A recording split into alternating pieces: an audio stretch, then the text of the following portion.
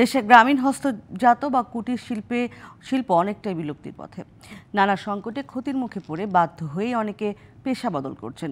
সহজ শর্তে ঋণ সহ সরকারি সহায়তায় এই শিল্পকে টিকিয়ে রাখতে পারে বলে জানান সংশ্লিষ্টরা।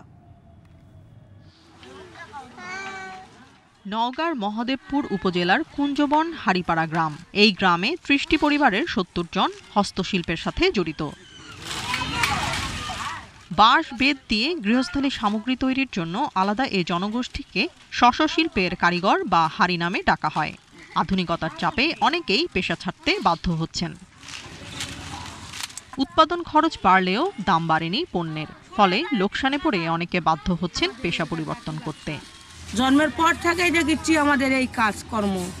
মা বাবা করেছে তার মা বাবা করেছে এবং আমরা করি বাঁশের দাম বেড়ে গেছে আমাদের এই প্লাস্টিকের যাই জিনিস আসে ভাই আমাদের জিনিসের দাম কমে গেছে। বর্ষা মাসে তো কাজ করা পারি না।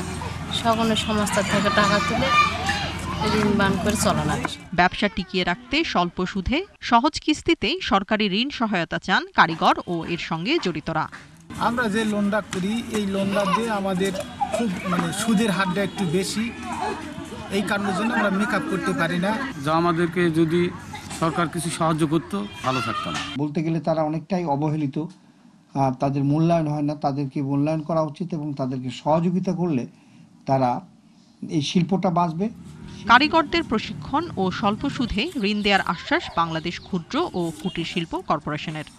এরা বেসিকের সহযোগিতা এরা পেতে পারে। এরা যদি আমাদের কাছে আসে আমাদের ঋণ নিয়মানুচার অনুযায়ী এদের আমরা প্রশিক্ষিত করে এদের আমরা সহযোগিতা করতে চাই এবং সরল এবং অল্প সুদে এদের আমরা হচ্ছে আহ, ঋণ দিতে চাই।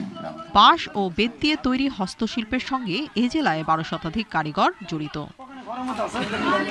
DBC news desk